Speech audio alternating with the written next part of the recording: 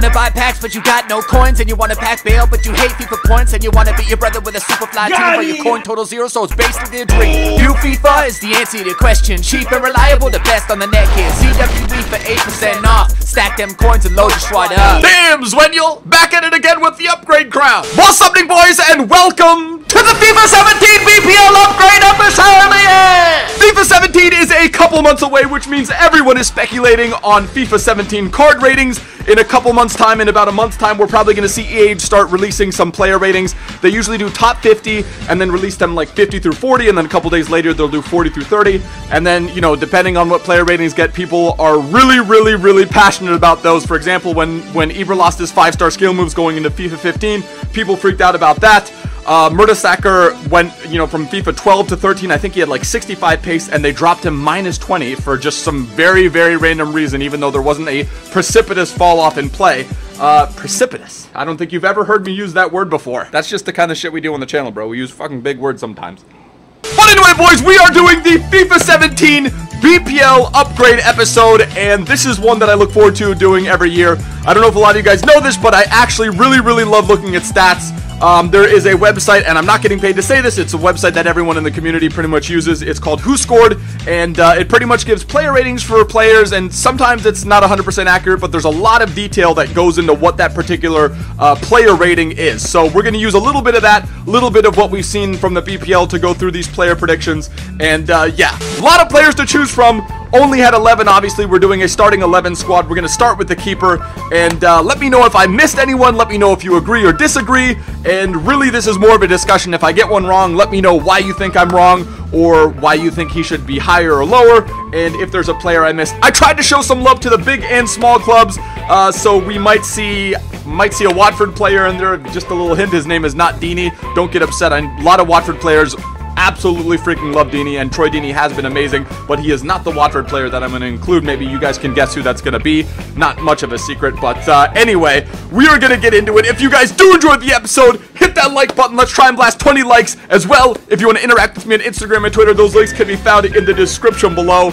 But uh, yeah, really have been looking forward to making this video. I love speculating on player ratings and what they could possibly be because at the end of the day, the stats dictate how these players play on the pitch. So uh, for us, at least virtually. But anyway, we're going to kick on and we're starting off with our first player and that is none other than Jack Butland. Didn't go to the Euros for a unfortunate injury. I believe he would have started for England over Hart had he not uh, had he not had his injury. But he's got a 79 rated card now. He started out with a 74, went up to a 79, and I think it would be fair to give him plus two. I think the way Butland played, even though he had that injury that prevented him playing at the Euros, he was absolutely, absolutely freaking amazing at Stoke.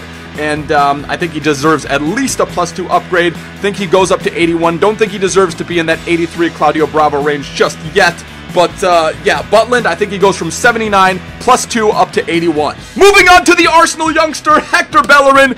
Um, has really, really solid season. 77 rated card, had a 74 to start the year, and then got one of the massive upgrades and went up to a 95 pace card, 70 passing, and had a goal. Uh, sorry, he had an assist the year prior, and then had five assists this year in the BPL uh, for Arsenal. So I think his passing could definitely go up to somewhere between 73 and 74. Overall, I think he goes from 77 plus 3 up to 80. I think he definitely deserves, uh, I think he definitely deserves to be up there. Definitely a top 5 RB, definitely a top 5 uh, right back in the Premier League if you're asking my personal opinion. Uh, but like I said, went from 1 assist the year before up to 5, so I think that passing goes up and the way he played, I think a plus three upgrade is warranted. think he goes up to 80. Moving on to our first center back, and obviously this is a position that we could have gone with so many different players, but uh, we're going to go with one of the more unheralded players. We're going to go with Virgil van Dijk. Statistically, a top five defender in the world. I'm not saying that from a personal standpoint, but the stats that he has rank him as a top five defender in the world.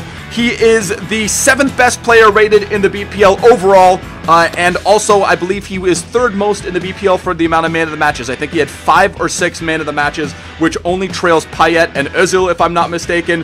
Özil, obviously, don't want to say too much about Özil right now. We'll get to him a little bit later. But Virgil van Dijk, one of the starlets of the BPL, uh, very promising talent for the Dutch national side. And I believe he's had three Team of the Season cards in a row. So yeah, still only 24 years old, has a 77 rating. Realistically, I think EA probably just bump him up two to 79. But I would make a strong argument that you could make the case that he should be bumped up plus three to an 80 overall card. Again, just an absolute freaking monster for uh, for Southampton. Really, really deserves an upgrade. Would like to see him get that 80 overall card, but I think people would be happy to see him 79. Just one of those guys that's not in the news a lot, but really just does his job and is an absolute freaking tank at his position. Speaking of tanks, we are moving on to Kurt Zouma, who we had to include. Uh, felt bad for leaving Smalling out, but uh, again, I had to choose a smaller club and then a bigger club, so we're going to go with Chelsea as the bigger club. We've got Zuma. When he did play, he was an absolute monster. Uh, beast is the only way that I could use to describe him. Played incredible under Hiddink, and uh, will be interesting to see how he performs under Conte, but an absolute freaking G. Could see that physical going up from 81 up to something like 84 or 85, and I think if we see him get an 81 overall gold card next year, I think it would be deserved. Moving on to our left back, we are going with Christian Fuchs. Uh, the former Schalke man who was a huge part of Leicester's championship season. Very important their attacking play as a left back. Obviously, you can see his card right here. He's one of those left back. Uh, he's one of those left back cards that can do a little bit of everything. Has long shots. Uh, has long shots and shot power for days. Um, but uh, yeah, one of the unsung heroes of the Leicester campaign. Obviously, Vardy and Mahrez and Kante are going to steal some of that shine. But Fuchs has been absolutely freaking incredible. He started, I believe. Now, I, am a little bit confused because he has a silver that's 74. I think it had something to do with a position change. Uh, his original card is a left wing back. Got a 74 Team of the Season silver card. And if I'm being honest with you, I'm seeing a plus two upgrade. I'm seeing him go up to 76 overall gold card. Um, but uh, yeah, don't think he gets a massive, massive upgrade, but I think plus two is definitely, definitely deserved. He won the freaking championship with Leicester and uh, was a big part of that. So I think plus two, 76 overall gold for Fuchs would definitely be deserved. Moving on to the midfield, and we had three players to choose from. This was one of the more difficult ones to do. Um, I went ahead with Payet as the uh, as one of the three midfielders over Ozil. It was between those two, and I really just felt like including Payet in the squad was the more appropriate, given that Ozil started really hot, was an amazing, amazing midfielder for most of the season, but after the winter break, fizzled out a little bit. So I decided to go with Payet. Uh, Payet, and if you're asking my opinion on Ozil, I think he should probably remain 88 overall. Um, he did get his 80, uh, his upgrade to 89, but I'm thinking probably should maintain 88. I think that's the one he deserves. But uh, absolute assist king. If he can be a little bit more consistent this year, I think he definitely deserves an upgrade. But Payet has been incredible. Incredible for West Ham. Incredible for France in the Euros. I didn't know how crazy he actually was at Marseille. He had two less goals, but four more assists with Marseille the, pre, uh, the previous season before joining West Ham. And uh, yeah, was ranked the is rated the second best player in the BPL, so I don't see how you uh, can't give him an upgrade. 82 overall card. Uh, I believe he had an 81 to start the year. I think he's got to be at least 85. I just don't know how he can't. If you're going to do an upgrade, I know he's getting up there in age. I think he's 28, turning 29 this year, but I just don't know how you don't make him an 85. Like, Payet needs to be an 85 overall card. Plus 3, 85 overall. 9 goals and 12 assists. What else do you need to know? Moving on to our next midfielder, and it's only right that we have a couple Leicester players in here. I'm not going to say whether or not this is the second or the uh, the last of the Leicester players, but N'Golo Kante, if I read the transfer rumor or the transfer news correctly, he has gone to Chelsea. You can make a case that he was just as valuable as Vardy or Mahrez. Started the year with a 75 overall card, moved up to a 77, and like I said, such a massive part of uh, the success that Leicester had, um, was ranked the sixth best player in the BPL, and just given what he did with the championship with Leicester, uh, his ranking um, across the board statistically, I just don't see how you give him at least a plus four upgrade. I see him going up to an 81 overall gold card um, at the very minimum. I think you could make the case that he should be an 82 or an 83 overall card. Ki Sung Young had to show some South Korean love. Now, this guy is probably my favorite player that I've included in this upgrade video. Not a lot of players, uh, not a lot of people would throw them into the upgrade video, but uh, I decided, given that he really is one of the better midfielders in the Premier League. The guy has the highest pass success of any player in the Premier League. I think it's 90%. There's not there's not another player in the Premier League. I think Ozil and uh, Ozil I think is the only player that comes close. I think he has like 89.5, and then Ki Sung Young has 90% pass success. That's Tony Kroos type level, and uh, yeah, definitely definitely an unsung hero for Swansea. Deserves an upgrade. I want to say that I think he should be an 80 based on how he played. Didn't see a lot of uh, Swansea matches this year, but uh, based on how he played, I think he deserves at least a plus two. I think he should be a 79 overall card. Honestly, you can make an argument for 80, but I think EA, the way they are, given that he doesn't have any informs, he didn't get a team of the season or anything like that, if I'm being honest with you, I think they'll probably maybe just bump him up plus one to 78, but uh, 79 or 80 at least is what he's deserved. He's just one of those guys that's great on the ball, does his job, but just does not get the recognition that he deserves Would love to see him have an 80, but like I said, 79 probably more likely. Moving on to our next Leicester player, and it is none other than Riyad Mahrez.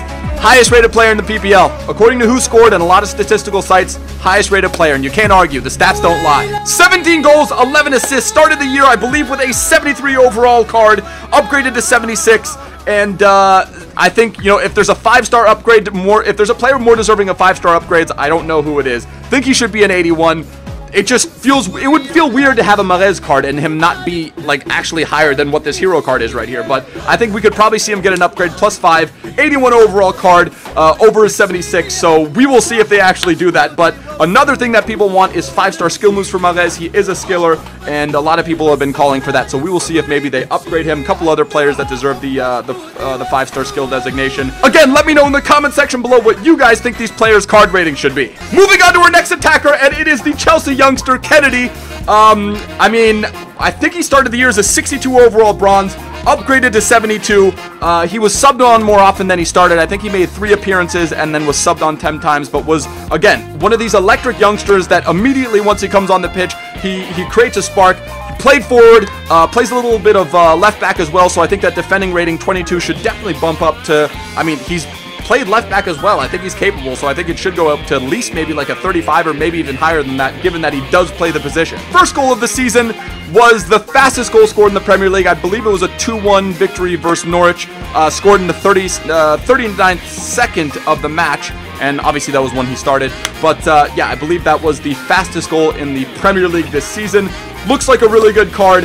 Uh, a lot of people are predicting a plus 5 or plus 6 upgrade, and I would not disagree. I'm going to say that I think he probably deserves a 76, just realistically, given that he's still pretty young um, and didn't do a whole lot. Did Was very important for Chelsea last year, but uh, I think probably a 76 overall gold card is what he's deserving. Also, one of those players that deserves 4-star skill moves would be surprised to see EA not hand him that in FIFA 17. Last but not least, we are showing some Watford love. They were in the championship the season prior. Uh, he had 20 goals for uh, for Watford in the championship, and then they got upgraded to the Premier League. And he didn't skip he didn't skip a beat. He scored 15 goals in the Premier League last season. Uh, partnership of dreams with uh, Troy Deeney, Ighalo, and Troy Deeney. And uh, yeah, absolute freaking class player. Got an 83 overall team of the season card, and would honestly be surprised if he didn't get an upgrade. Started the year with a 72 overall card, got upgraded plus four to 76, and I think given his season, given the 15 goals, uh, given the way he played, 13th, uh, uh, finished 13th in the Premier League um, after being uh, promoted to the Premier League, which is just an incredible, incredible achievement. Didn't miss a beat. And uh, yeah, I think he deserves a plus two, going from 76 to 78 overall. And with him, that is the last player we're doing. Tried to do a little bit of the big club, small club love, showing some love to everyone. And uh, yeah, hopefully you guys did enjoy. If you disagree, if you agree, let me know in the comment section below. Let me know if I left anyone out. Obviously, there's some omissions. Vardy, I just didn't want to load up the uh, the prediction video with Leicester players.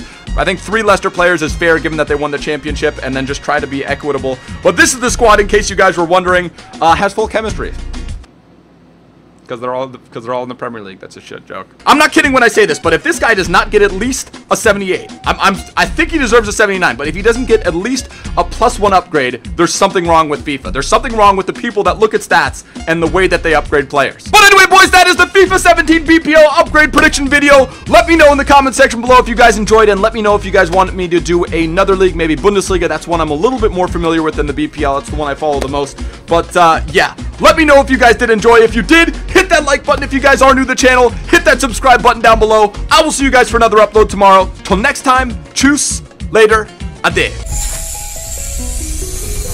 What are those? James when you're back again. Back, back,